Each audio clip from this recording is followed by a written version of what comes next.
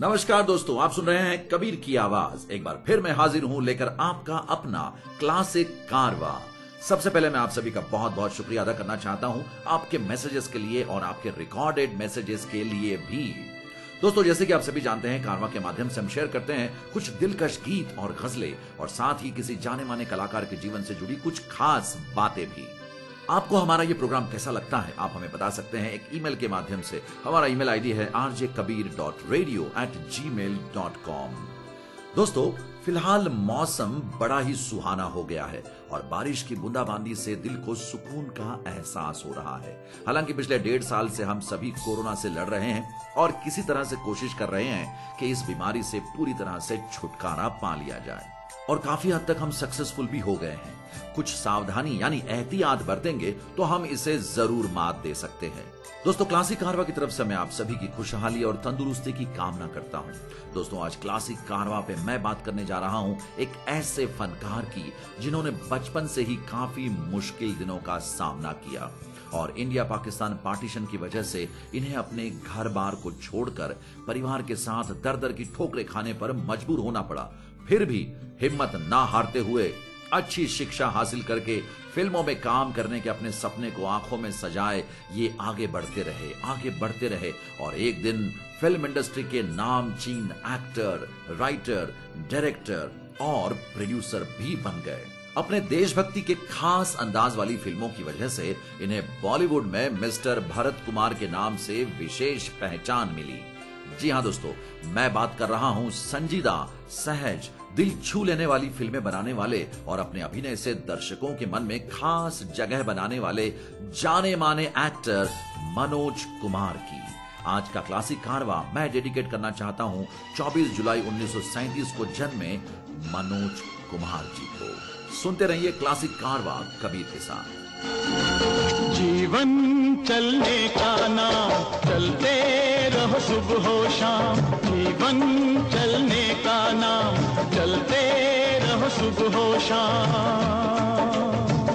के रास्ता कट जाएगा मित्रा के बादल, छट जाएगा मित्रा के दुख से। झुकना ना मित्रा के एक पल, रुकना ना मित्रा। जीवन चलने का नाम, चलते रहो सुबह हो शाम। जीवन चलने का नाम, चलते रहो सुबह शाम।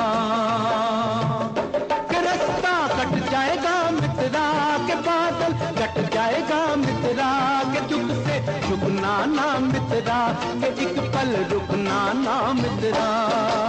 जीवन चलने का नाम, चलते रहो हो शाम।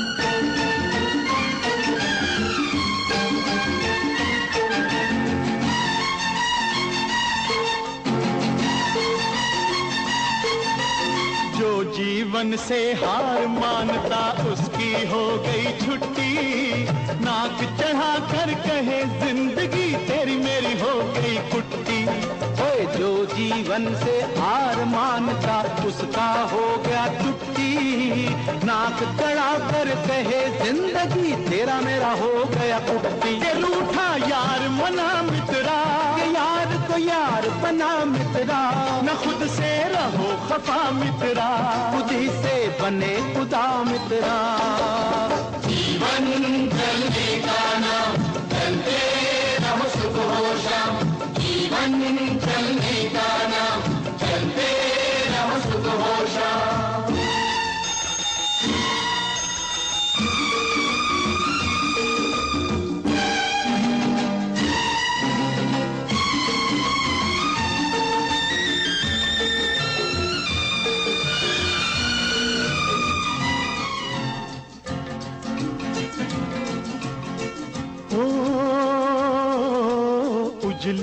उजली भोर सुनाती तुतले तुतले बोल। उजली उजली भोर सुनाती तुतले तुतले बोल। अंधकार में सूरज बैठा अपनी गठड़ी खोल। समय से हाथ मिला मित्रा। हो जा किरण किरण मित्रा। के चलता रहे चरण मित्रा।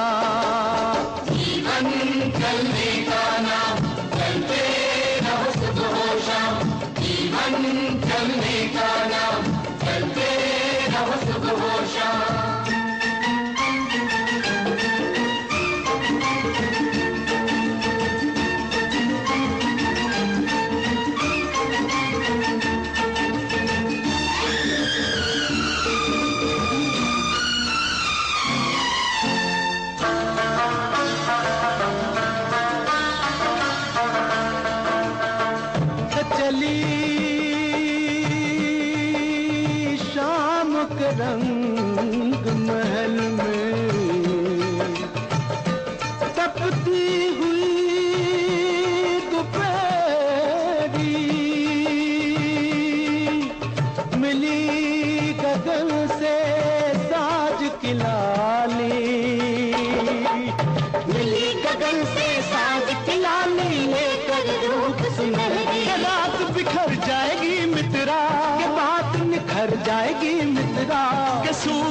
चढ़ जाएगा मित्रा काफिला बढ़ जाएगा मित्रा।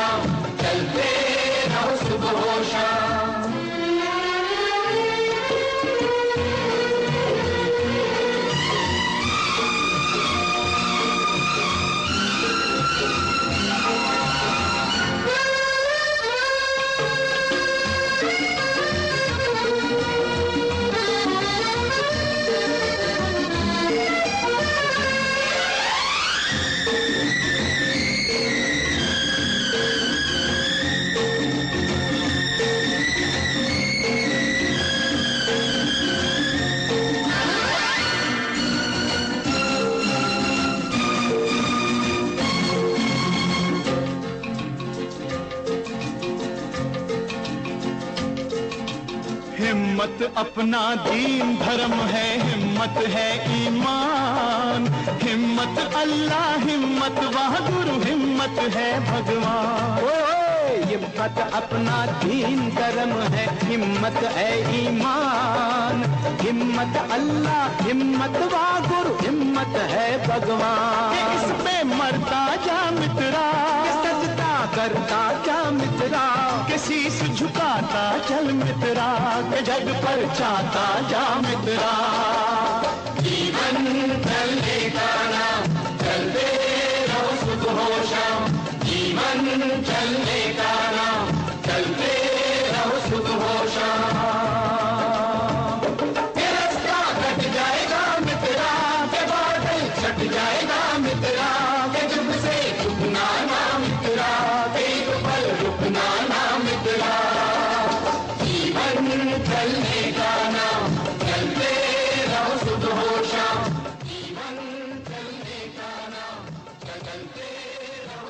दोस्तों, आप सुन रहे हैं क्लासिक कारवा ये है कबीर की आवाज़। दोस्तों, आज हम बात कर रहे हैं बॉलीवुड के जाने माने एक्टर डायरेक्टर मनोज कुमार जी की। मनोज कुमार जी का जन्म पार्टीशन के पहले हिंदुस्तान का हिस्सा रह चुके एबटाबाद यानी कि आज के पाकिस्तान में हुआ था। उनके पूरे परिवार को कई वर्षों तक भारत में रिफ्यूजी बन के रहना पड़ा और फिर एक दौर आया जब उन्होंने बॉलीवुड पर भी राज किया। कड़ी मेहनत और लगन से अपना एक्टर बनने का सपना पूरा करने वाले मनोज कुमार जी ने कई सुपरहिट फ़िल्मों में काम किया और कई फ़िल्मों का निर्देशन भी किया। अपनी पढ़ाई के दौरान मनोज कुमार जब भी फ़िल्में देखते तो उनके मन में बड़ा कुतूहल बना रहता है। क्यूरियस रहते हो। खासकर दिलीप कुमार साहब की फ़िल्मों को वो बेहद पसंद करते थे। एक फ़िल्म में दिलीप कुमार की मौत हो जाती है और फिर वो दूसरी फ़िल्म में ज़िंदा नज़र आते हैं। ये बात उन्हें हमेशा खटकती रहती। दिलीप साहब की एक फ़िल्म शबनम उन्हें बेहद पसंद आई थी और उस फ़िल्म में दिलीप साहब का नाम मनोज था। उसी वक्त उन्होंने सोच लिया था कि अगर उन्हें फ़िल्मों में काम करने का मौका मिला तो वो अपना नाम हरि किशन गिरी गोस्वामी से बदलकर मनोज कुमार रख देंगे। जी हाँ उन्होंने फ़िल्मों से प्रभावित होकर ही अपना नाम बदला था। और अभिनेता बनने के लिए मनोज कुमार जब मुंबई पहुँचे तो फ़िल्मों में काम पाने की उन्होंने भरसक कोशिश की। लेकिन बॉलीवुड में हीरो का मेन रोल पाना इतना आसान नहीं था। कई छोटे मोटे किरदार निभाने के बाद उन्हें मौका मिला 1957 में रिलीज़ हुई फ़िल्म फ़ैशन में काम करने का। जी हाँ उसके बाद कांच की गुड़िया, पिया मिलन की आस और रेशमी रुमाल, ये वो फ़िल्में थी जिनमें उन्हें काम तो मिला, पर प्रसिद्धि नहीं मिली। लेकिन विजय भट्ट की फ़िल्म हरियाली और रास्ता ने उनके लिए बॉलीवुड के दरवाजे खोल दिए। माला सिन्हा के साथ उनकी जोड़ी को काफ़ी पसंद किया गया और फ़िल्म भी ज़बरदस्त हिट रही। ये हरियाली और ये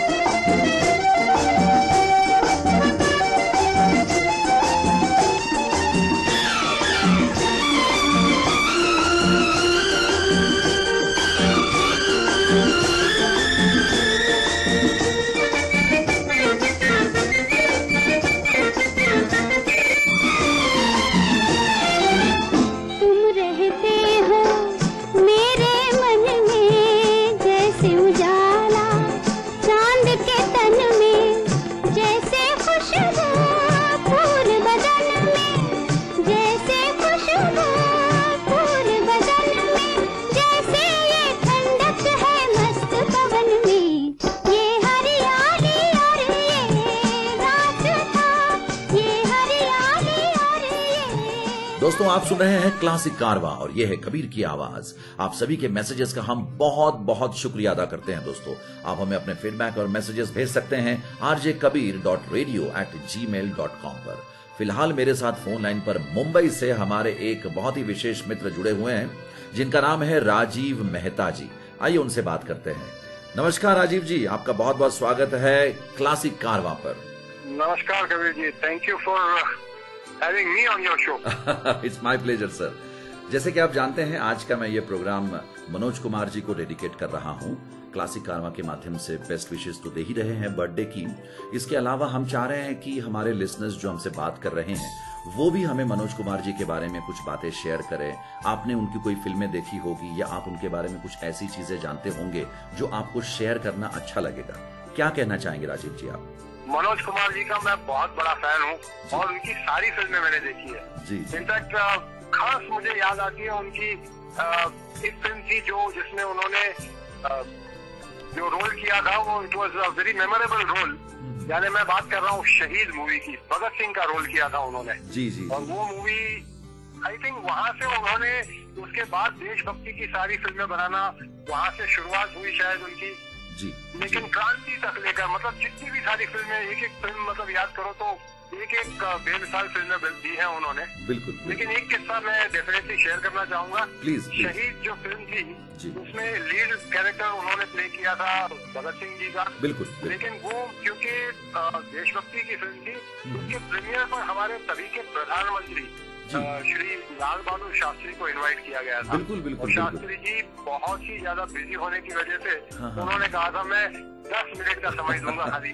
शायद आ जाऊँगा। करेक्ट करेक्ट लेकिन जब वो आए उनको मूवी इतनी पसंद आई जी। कि वो पूर, पूरी मूवी देख कर गए और इनफैक्ट वॉज़ सो मूव्ड कि हम्म। पूरे पूरी यूनिट को उन्होंने चाय पे बुलाया नेक्स्ट डे और दूसरे दिन दूसरे दिन जब वहाँ गए हालाँकि। इसमें तो मनोज कुमार जी सिर्फ़ लीड रोल कर रहे थे बट नेक्स्ट डे जब पूरी चाय के ऊपर उन्होंने कहा क्योंकि उनका एक तभी का स्लोगन था जय जवान जय किसान। करेक्ट करेक्ट और और उन्होंने कहा मेरे स्लोगन के ऊपर एक आप मूवी बनाइए ओके तो उसके बाद वो एक इंस्पिरेशन बना और मनोज कुमार जी ने पहली मूवी डायरेक्ट की जी, जो जी, 1967 में रिलीज़ हुई। बिल्कुल, और वो भी एक आइकॉनिक फ़िल्म थी उपकार। बिल्कुल बिल्कुल बिल्कुल सही कबीर जी अगर उपकार का एक एक गाना अगर सुना देंगे बहुत बढ़िया रहेगा। बहुत फ़ेमस गाना है बहुत पॉपुलर गाना है जी, जी। मेरे देश की धरती। वाह क्या बात है बहुत बढ़िया बहुत ही बढ़िया आपने इन्फॉर्मेशन बताई है। और उस समय के हमारे जो माननीय प्रधानमंत्री थे लाल बहादुर शास्त्री जी वो भी बहुत भावुक हो गए थे उनके अभिनय और उनकी फ़िल्म को देख करके। बहुत बहुत ही सुंदर किस्सा आपने हमारे साथ शेयर किया Rajiv ji thank you so much thank you हम जानना चाहेंगे आपके विषय में कुछ बातें आप क्या करते हैं और आपके क्या क्या शौक हैं क्या क्या हॉबीज हैं आप अपनी ज़िंदगी में क्या क्या करते हैं? वैसे तो बेसिकली मैं बिजनेसमैन हूँ मैं मुंबई से हूँ। जी, जी। लेकिन देशभक्ति की बातें आती है और मतलब मनोज कुमार जी की बात नाम आता है तो देशभक्ति की फ़िल्में ऑटोमेटिकली दिमाग में आती है। और उनके उनका बहुत बड़ा फ़ैन हूँ मैं मतलब उनकी सारी मूवीज़ मैंने देखी हुई वाह क्या बात है। Thank you so much that was wonderful आपसे बात करके मुझे बहुत अच्छा लगा Rajiv ji thank you so much please सुनते रहिए हमारा प्रोग्राम क्लासिक कारवा मैं आपकी पसंद का गाना प्ले करता हूँ। Thank you so much take care bye bye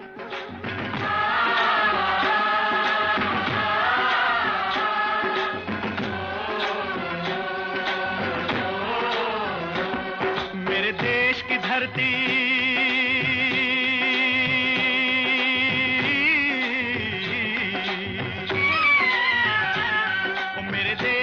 धरती सोना उगले उगले हीरे मोती, मेरे देश की धरती। मेरे देश की धरती, मेरे देश की धरती।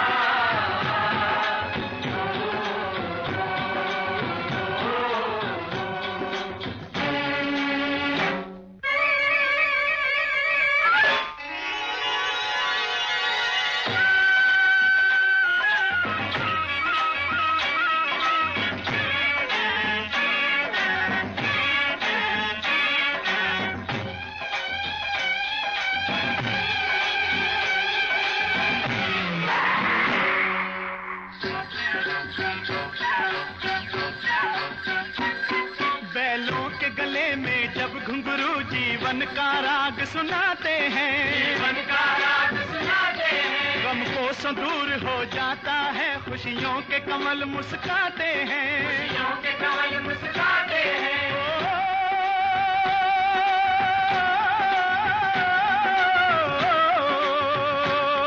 सुन के रहट की आवाज़ें सुन के रहट की आवाज़ें। यूँ लगे कहीं शहनाई बजे।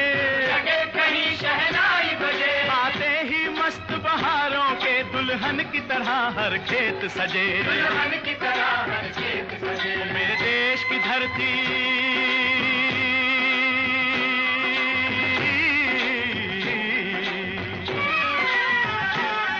मेरे देश की धरती सोना उगले उगले हीरे मोती। मेरे देश की धरती। मेरे देश की धरती।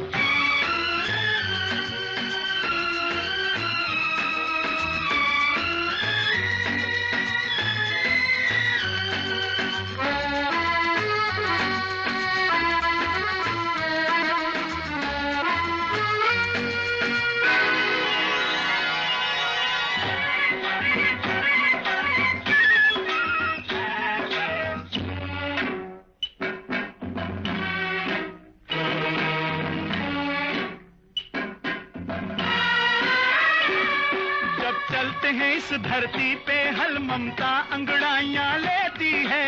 अंगड़ाइयाँ लेती है। क्यों ना पूजे इस माटी को जो जीवन का सुख देती है। जो जीवन का सुख देती है।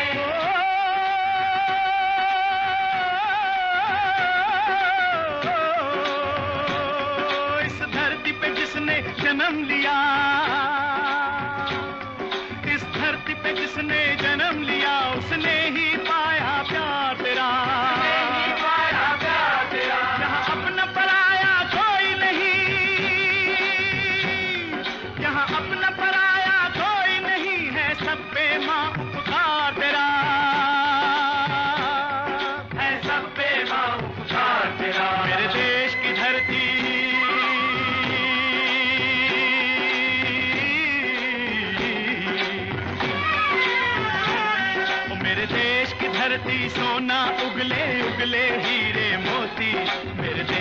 धरती। मेरे देश की धरती।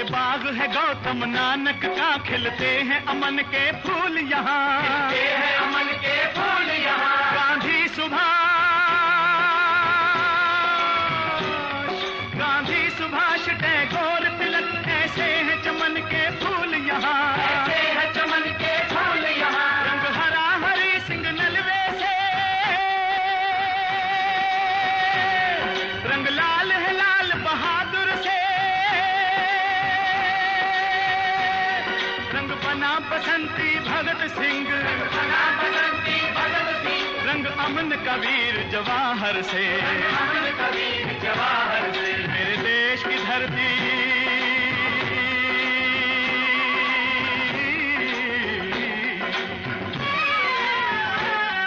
मेरे देश की धरती, सोना उगले उगले हीरे मोती।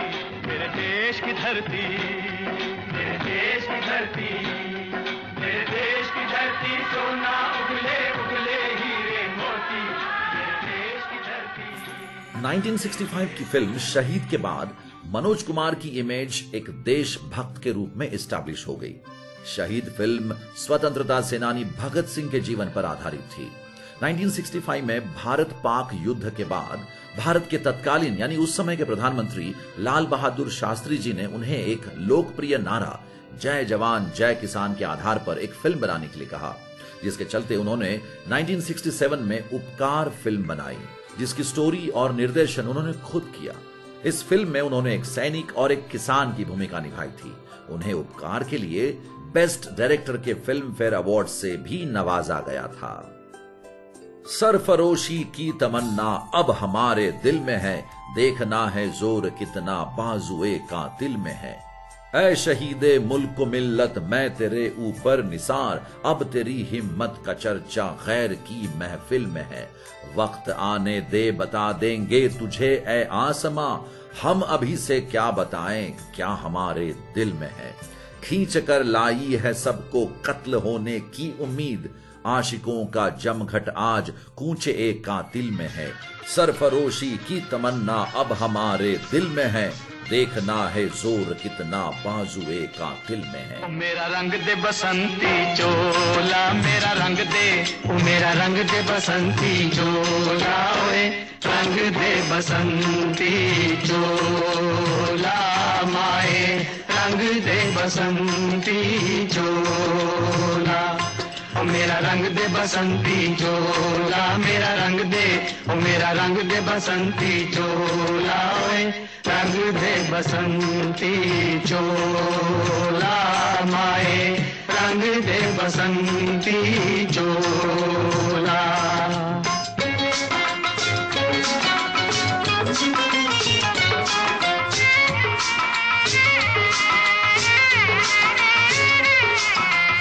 दम निकले इस देश की खातिर, बस इतना अरमान है। हम निकले इस देश की खातिर, बस इतना अरमान है। एक बार इस राह में मरना सौ जन्मों के समान है। देख के वीरों की कुर्बानी, देख के वीरों की कुर्बानी, अपना दिल भी बोला मेरा।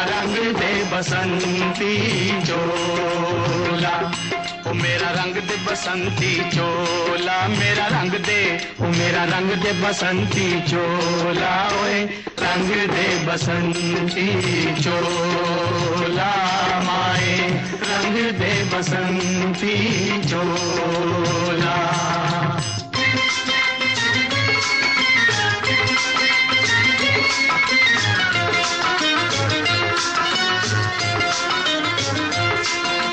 जिस चोले को पहन शिवाजी खेले अपनी जान पे। जिस चोले को पहन शिवाजी खेले अपनी जान पे। जिसे पहन झांसी की रानी मिट गई अपनी आन पे। आज उसी को पहन के निकला पहन के निकला।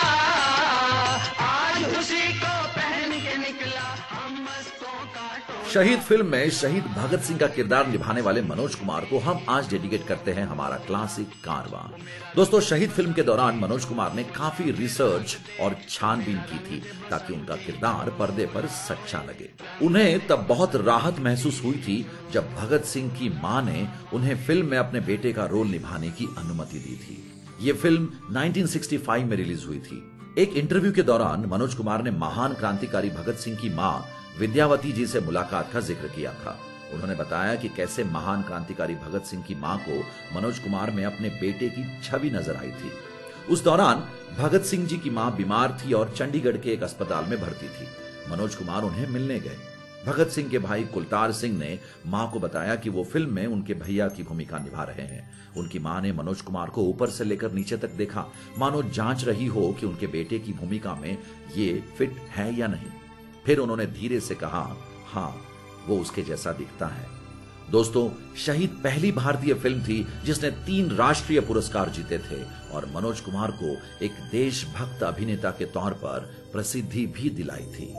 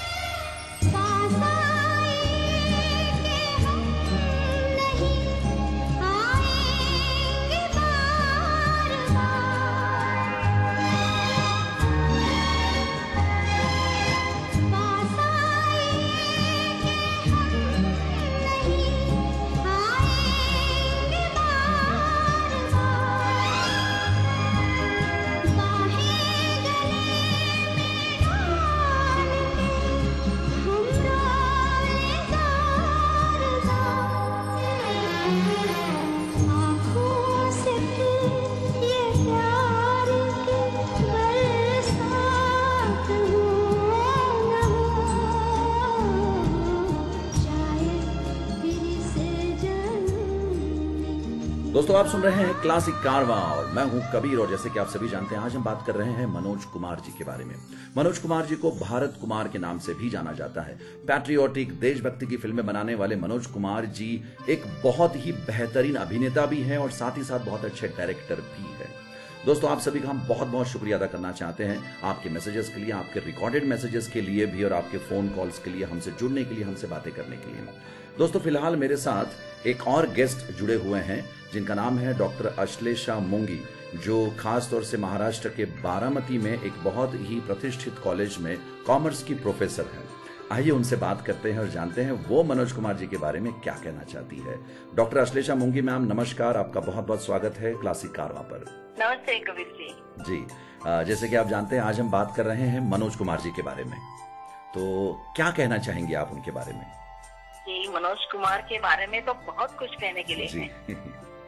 जी मनोज कुमार ने उन्नीस सौ सत्तानवे में बतौर अभिनेता फ़िल्म फ़ैशन से अपना करियर की शुरुआत की। जी जी। और अपनी फ़िल्मों के ज़रिए उन्होंने एक्चुअली देशभक्ति की भावना का गहराई से एहसास कराया उन्होंने। एग्जैक्टली जी। उनको देशभक्त अभिनेता भी कहते थे। उनके रूप में भी जाना जाता था। जी। उनकी फ़िल्मों के बारे में अगर मैं बताऊँ तो हरियाली और रास्ता हम्म, पत्थर के सनम उपकार पूर्व और पश्चिम ये फ़िल्में एक तो मिसाल बन के रह गई है। जी जी। कि कबीर जी हम लोग अगर इधर उधर देखें तो कोविड और फ्लड के संकट आ रहे हैं। जी। और लोग तो जूझ रहे हैं परेशानियों के साथ। बिल्कुल बिल्कुल। तो क्यों ना हम लोग गाने के माध्यम से हम उन लोगों को संदेश दे दें बिल्कुल बिल्कुल बहुत सही विचार है आपका। जी जी जी गाना है जी। ज़िंदगी की ना टूटे लड़ी। वाह। प्यार कर ले घड़ी दो घड़ी। वाह बहुत ही खूबसूरत। क्रांति फ़िल्म का गाना और बहुत ही बेहतरीन स्टार कास्ट मनोज कुमार जी दिलीप कुमार साहब के साथ हेमा मालिनी जी भी उसमें थी। बहुत ही बेहतरीन फ़िल्म। जी जी। तो मैं आपकी पसंद का ये गाना आपको और हमारे सभी लिसनर्स को सुनाने वाला हूँ। मैम आप हमसे बातें करने के लिए बहुत बहुत शुक्रिया आपका। अपना ख्याल रखिएगा स्वस्थ रहिए सुरक्षित रहिए। Thank you so much please take care of your thank you bye bye ज़िंदगी की ना टूटे लड़ी। ज़िंदगी की ना टूटे लड़ी। प्यार कर ले घड़ी दो घड़ी।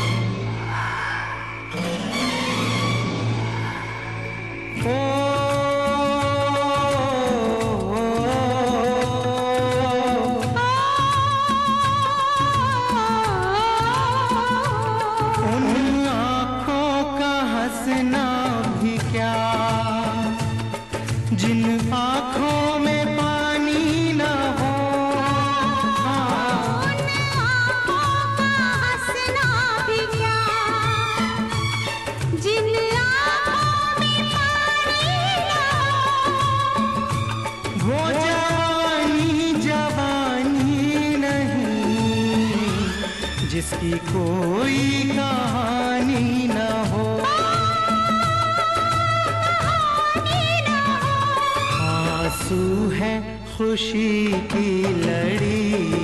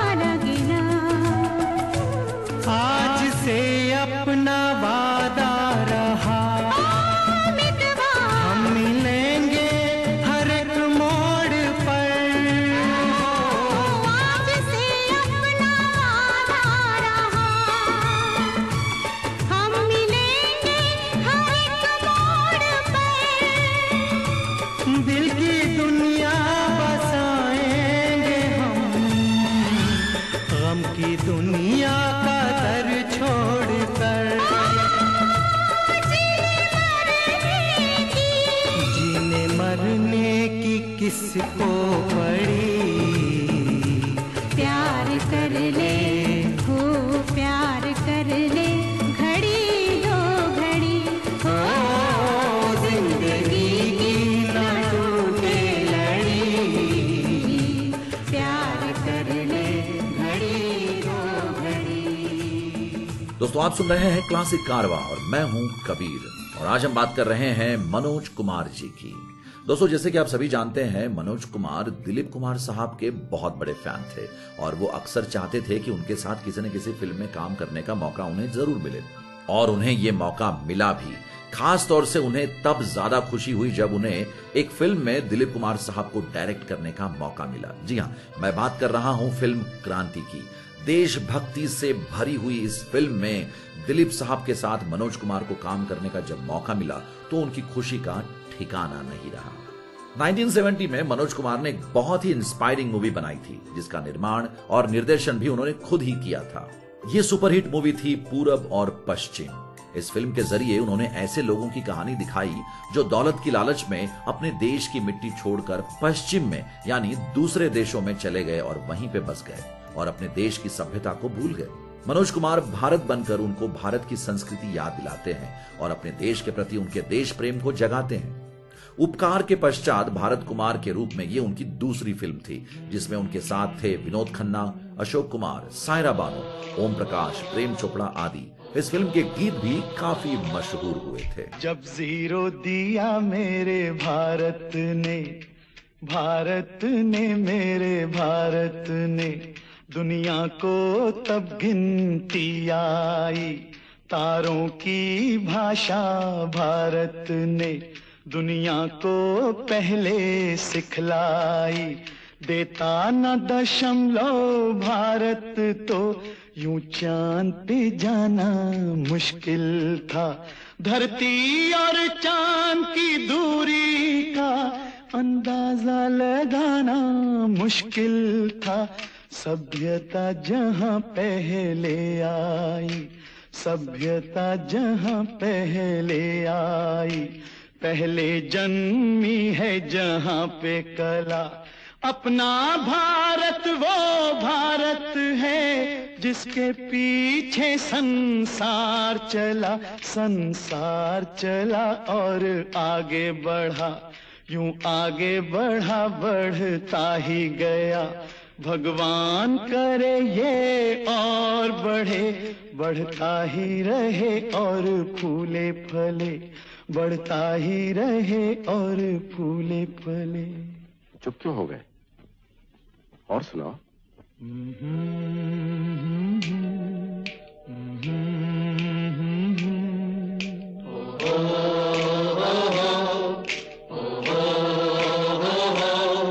है प्रीत जहाँ की रीत सदा।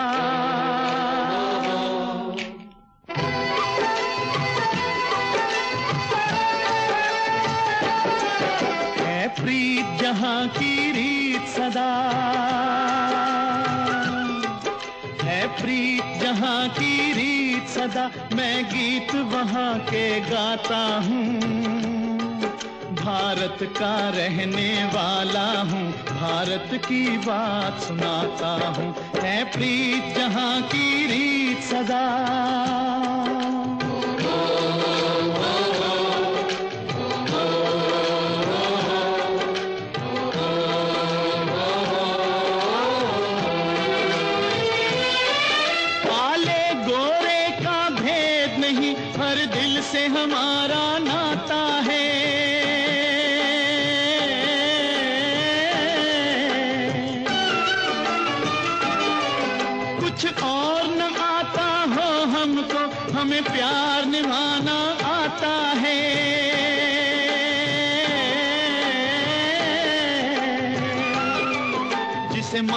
चुकी सारी दुनिया हो जिसे मान चुकी सारी दुनिया, मैं बात मैं बात वही दोहराता हूँ।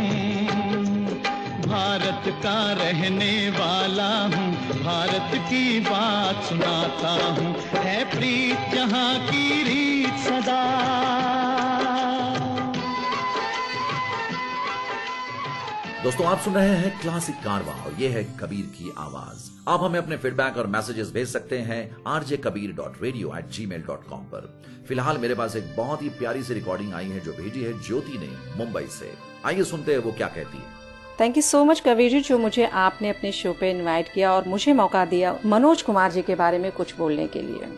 मनोज कुमार जी का नाम लेते ही मुझे एक इंसिडेंट याद आता है। उनसे मिलने की तमन्ना बहुत होती थी, क्योंकि जब भी उनको टीवी पे मैं देखती थी तो उनका वो खूबसूरत चेहरा, उनकी प्यारी सी मुस्कान एकदम दिल को छू जाती थी।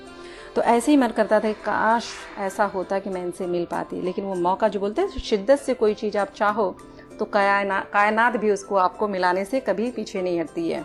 तो वो समय आया, क्योंकि फॉर एवर लिविंग प्रोडक्ट में मैं एज अ ट्रेनर वर्क करती हूँ, और मुझे मौका मिला कि वो कुछ हमारे कंपनी के प्रोडक्ट यूज़ करते हैं।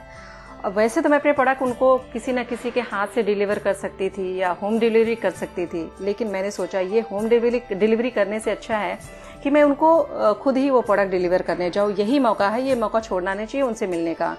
और मैं खुद प्रोडक्ट लेकर गई और मिली उनसे, मिलते ही ऐसे लग रहा है कि मेरे जो इतने सालों के सपने थे वो साकार हो गए। और बात करें उनके उनके साथ मैंने बहुत सारे फ़ोटोज़ भी निकाले, उनके साथ मैं बैठी, काफ़ी टाइम मैंने स्पेंड भी किया, उनके साथ में चाय कॉफ़ी पी। और जब उनकी फ़िल्मों की बातें करें, उनकी फ़िल्मों के प्यारे प्यारे गाने की, गानों की बात करें तो ऐसे तो सारे गाने बहुत ज़्यादा मुझे पसंद है वो, क्योंकि वो मेरे बहुत ही पसंदीदा एक्टर हैं। और जैसे कि पत्थर के सनम, क्रांति, उपकार पूर्व पश्चिम, ऐसे बेहतरीन फ़िल्में उन्होंने दी हैं। और उनके सबके गाने मुझे बहुत ज़्यादा पसंद है। अब सारे के सारे तो मैं आपको नहीं बोल सकती हूँ, लेकिन मैं आपसे रिक्वेस्ट ज़रूर करना चाहूँगी कि आप मुझे, एक तो है पत्थर के सनम तुझे मैंने मोहब्बत का खुदा माना। ये वाला आप मुझे सॉन्ग सुनवा दीजिए। दूसरा है, आ महबूब मेरे महबूब मेरे महबूब मेरे।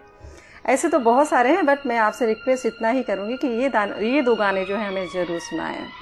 And thank you so much जो आपने मुझे अपने शो पे इनवाइट किया और मनोज कुमार जी के बारे में बोलने के लिए मुझे मौका दिया। Thank you so much Jyoti आपका बहुत बहुत शुक्रिया और आपने कुछ लाइंस गुनगुना कर भी हमें सुनाई इसके लिए भी आपका खास तौर से शुक्रिया। मैं आपकी पसंद के दोनों गाने आपको सुनाता हूँ। सुनते रहिए क्लासिक कारवा कबीर के साथ।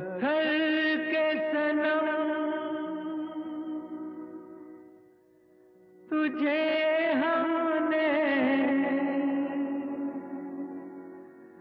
मोहब्बत का खुदा जाना पत्थर के सनम, तुझे हमने मोहब्बत का खुदा जाना बड़ी भूल हुई। अरे हमने ये क्या समझा, ये क्या जाना पत्थर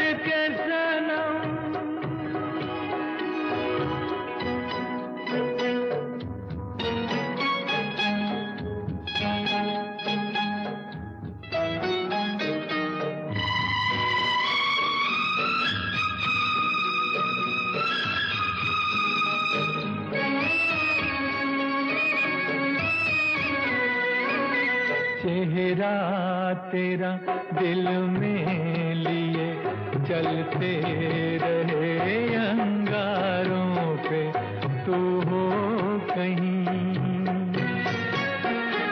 तू हो कहीं सजदे किए हमने तेरे रुख सारों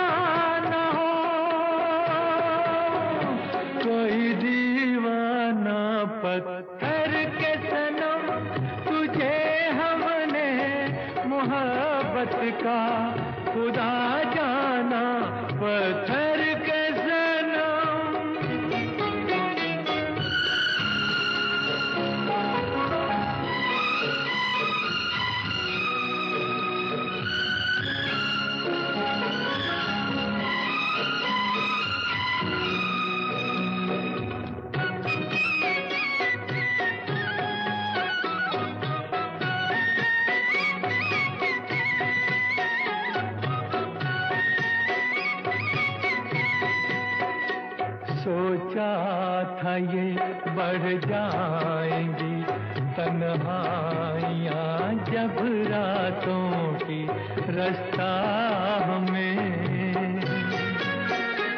रास्ता हमें दिखलाएगी शम्मे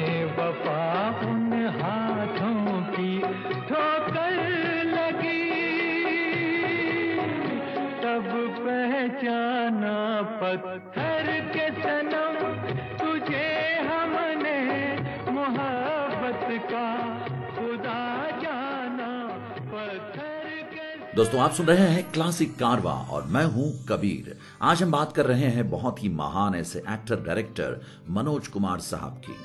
दोस्तों, मेरे पास एक और बहुत ही प्यारा सा रिकॉर्डेड मैसेज आया है जो हमें भेजा है नाट्य शास्त्र विभाग के professor doctor Siddharth Tayde sir ने। तायडे सर फ़िल्मों के समीक्षक भी हैं, नाटकों पर काम भी करते हैं और आज हमारे इस कार्यक्रम में उन्होंने जो मैसेज भेजा है, वाकई उसमें भी एक बहुत ही गहरी बात छुपी है। आइए सुनते हैं वो क्या कहते हैं। आज के दौर में देश प्रेम और भक्ति से भरी फ़िल्में बॉक्स ऑफ़िस पर चल ही नहीं पाती। वैसे इसकी एक मुख्य वजह यह भी है कि आजकल देशभक्ति से भरी फ़िल्में बहुत कम बनती है। मसाला विषयों से हटकर फिल्मकार कुछ और सोच ही नहीं पाते, लेकिन फ़िल्म इंडस्ट्री में ऐसे भी लोग थे जो लीक से हटकर फ़िल्में बनाने के लिए प्रसिद्ध थे और ऐसी ही एक महान अभिनेता और फिल्मकार थे मनोज कुमार। मनोज कुमार ने अपने करियर में शहीद, उपकार, पूरब और पश्चिम और क्रांति जैसी देशभक्ति पर आधारित अनेक बेजोड़ फ़िल्मों में काम किया। इसी वजह से उन्हें भारत कुमार भी कहा जाता था। अपने करियर में अधिकतर देश प्रेम की फ़िल्म बनाने वाले इस महान फ़िल्म कलाकार को मेरा शत शत नमन।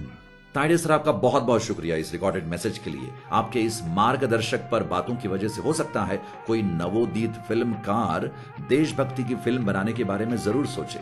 बहुत बहुत शुक्रिया ताइडे सर। आपको मैं डेडिकेट करता हूँ हमारा ये अगला गाना। सुनते रहिए क्लासिक कारवा कबीर के साथ। महबूब मेरे महबूब मेरे महबूब मेरे महबूब मेरे, तू है तो दुनिया कितनी हँसी है।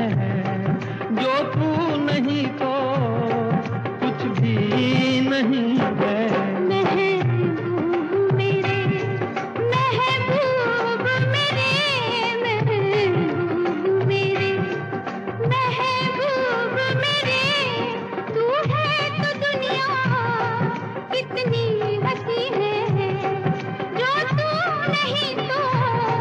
कुछ भी नहीं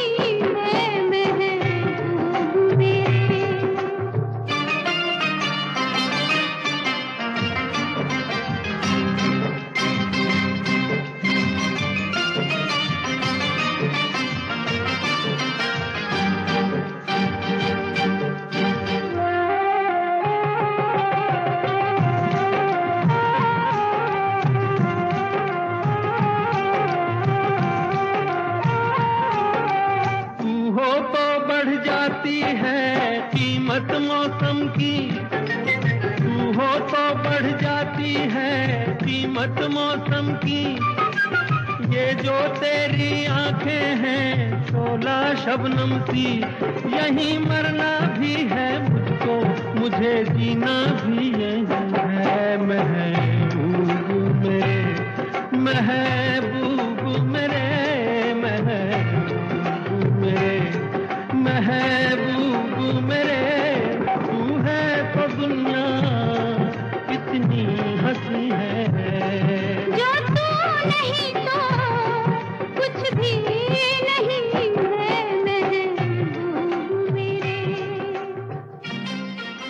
मनोज कुमार अक्सर बंद गले के कपड़े पहनना पसंद करते हैं। फिर चाहे वो कुर्ता हो या शर्ट। इसके अलावा मनोज कुमार को एक हाथ को अक्सर अपने मुँह पर रखा पाएँगे। मनोज कुमार को फ़िल्मों में रोमांस के बजाय देशभक्ति फ़िल्में करना ज़्यादा भाया। मनोज कुमार ने वो कौन थी? हिमालय की गोद में गुमनाम, दो बदन, पत्थर के सनम, यादगार, शोर, सन्यासी, दस नंबरी और क्लर्क जैसी बेहतरीन फ़िल्मों में काम किया। उनकी आखिरी फ़िल्म मैदान जंग, जो 1995 में रिलीज़ हुई थी। और बतौर निर्देशक उन्होंने 1999 में अपनी आखिरी फ़िल्म जय हिंद बनाई थी। मनोज कुमार को 1972 में फ़िल्म बेईमान के लिए बेस्ट एक्टर और 1975 में रोटी कपड़ा और मकान के लिए बेस्ट डायरेक्टर का फ़िल्म फेयर अवार्ड दिया गया था। बाद में 1992 में उन्हें भारत सरकार द्वारा पद्मश्री पुरस्कार से भी नवाजा गया। फ़िल्म फेयर पुरस्कार का life time achievement award, Dada Saheb Phalke पुरस्कार, ऐसे न जाने कितने पुरस्कार उन्हें मिले। 1968 की फ़िल्म उपकार के लिए best film, best director, best story और बेस्ट डायलॉग के लिए भी फ़िल्म फेयर अवार्ड मिले थे। 1972 में मनोज कुमार के सीने करियर की एक और बेहतरीन फ़िल्म रिलीज़ हुई थी, जिसका नाम था शोर। 1974 में रिलीज़ हुई रोटी कपड़ा और मकान, उनके करियर की एक और महत्वपूर्ण फ़िल्म मानी जाती है। इस फ़िल्म के ज़रिए उन्होंने समाज की इकोनॉमिक परिस्थिति पर व्यंग किया था। वादे, प्यार, वफा, सब। बातें हैं, बातों का क्या? वादे, प्यार, वफा, सब। बातें हैं, बातों का क्या?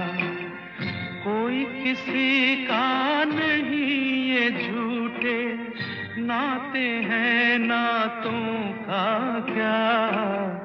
कसम वादे प्यार वफा सब बातें हैं बातों का क्या?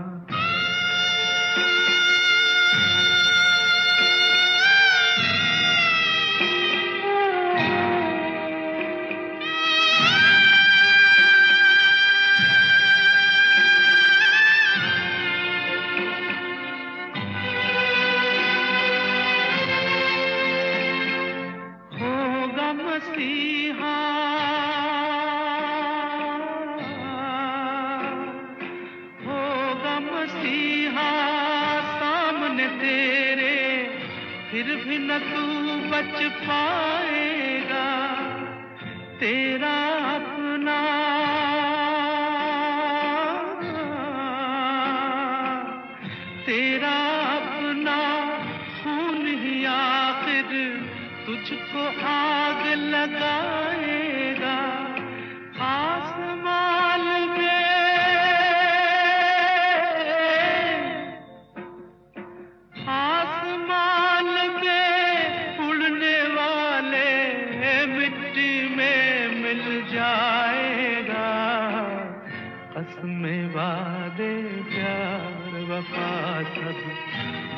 हैं बातों का क्या। दोस्तों, आप सुन रहे हैं कबीर की आवाज़ और ये है क्लासिक कारवा। आज हम क्लासिक कारवा पे बात कर रहे थे बॉलीवुड के एक बेहतरीन एक्टर, राइटर, प्रोड्यूसर और डायरेक्टर मिस्टर मनोज कुमार जी के बारे में।